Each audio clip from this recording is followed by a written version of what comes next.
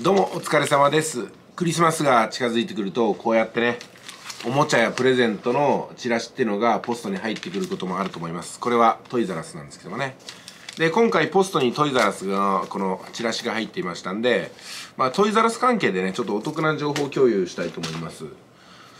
まあ、あの今ねトイザラスでは12月3日までだったと思いますけども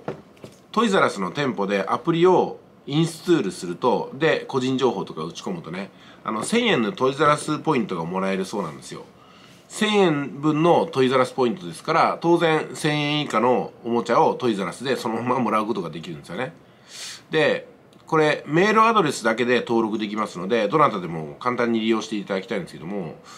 あのメールアドレスを変えるとですねまた別の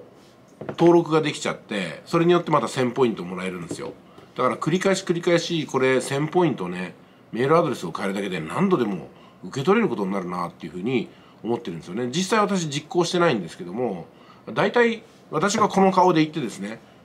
トイザラスのポイントくださいって言って1回目はいいですけども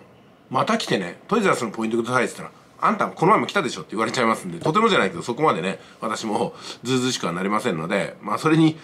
そんな方法でね、何千円ももらおうなんて発想もないんですけども、ただ、トイザラスの関係者の方は、今のところメールアドレスを変えるとね、あの、トイザラスのアプリが何度でもインストールできて、そのたんびに1000ポイントを渡さざるを得ないって状況がありますので、まあ、注意喚起をしようかなってところです。まあ、このぐらい誰でも気づくと思うんでね、まあ、私がわざわざ言うことではないと思いますけども、ちなみにこのポイントの有効期間は、12月の25日までなので、まさに、あの、渡したポイントは、プレゼントを買ってくれってことなのかもしれませんけどもね。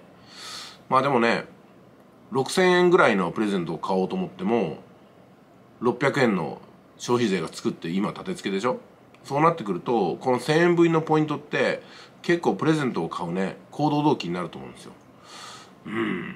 トイザラスなかなかすごいですね。はい。ということで今回はトイザラスで無料でおもちゃをもらえる方法期間限定ということでお話ししました。それでは。